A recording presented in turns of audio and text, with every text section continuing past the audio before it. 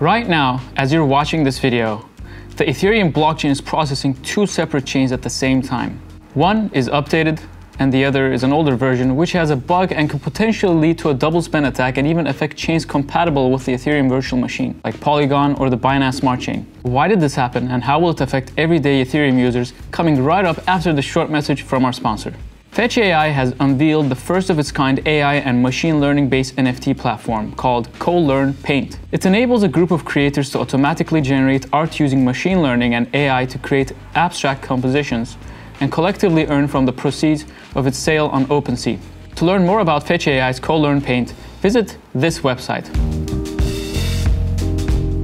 A bug in a previous version of Ethereum's main node software called Geth caused the chain to split in two. This was warned on the 18th of August by the Twitter communication channel for Go Ethereum when they announced a new patch release for the Geth client. This is kind of a big deal since Geth is the most popular software and makes up 3,866 of the total 5,022 Ethereum nodes. So 74% of the Ethereum blockchain is operated with Geth. The idea with Geth is that anyone can download it to verify transactions on the Ethereum network.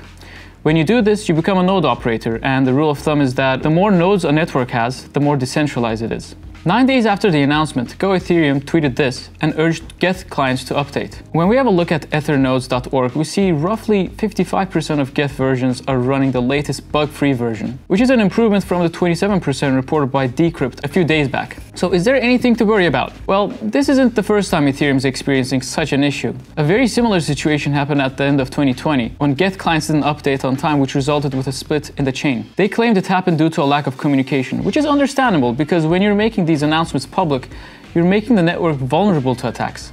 Although seemingly this time with a more public strategy, it worked out fine without any critical issues. The other question is what's happening on the other older unupdated chain? Nothing much, really. Transactions submitted on the older chain are relying on a small number of out-of-date miners with very low hashing power. This low hashing power could put the transactions at a 51% attack and double spends. And that's pretty much it nothing much to be worried about. Only thing you should consider doing is maybe going out for a walk, as Andre puts it.